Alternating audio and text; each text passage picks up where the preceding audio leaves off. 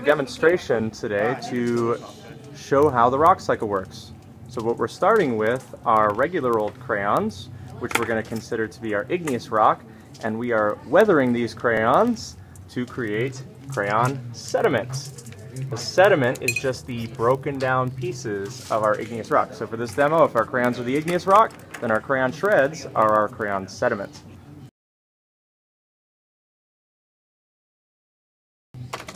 Okay, so now we have broken down the crayon into crayon sediment and it's been deposited onto this piece of tinfoil. The next step is we're going to apply heat and pressure. So Sasha, put that onto the hot plate. You can put this on piece on top. Heat. There's a hole in it. Oh, here, here's the better one. Now do I just... And, oh, nope.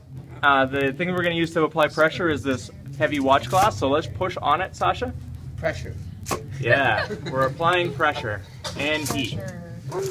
So the type of rock that we are hopefully going to be creating is a metamorphic crayon rock, where things are going to start partially melting and combining.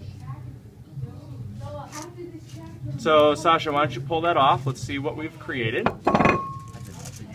Oh, Whoa. Whoa, okay. Pull it off onto here, Sasha. Pull it off onto here. Oh, it's liquid. Oh no. Whoa, okay. Oh, hey, Whoa. Is this Oh, what's deal. supposed to Pull it happen? up, it's okay, it's okay. What have I done? You're good. Is that what's supposed to Okay, happen? so Would it be really good? yes, it would. It doesn't We have like a rock. actually created two types of rock here. We have actually, we're on our way. So on one section here, it's been partially melted, and you can still see bits of the original rock. So this section right here, this would actually be a metamorphic rock because now it's been partially melted. Now the rest of it, don't touch it. The rest of the crayon is actually going to be fully melted. So when this cools, because it's been fully melted and recooled, it's actually going to go back to being an igneous rock, or in this case, an igneous crayon. So this is actually a really good demonstration of the rock cycle.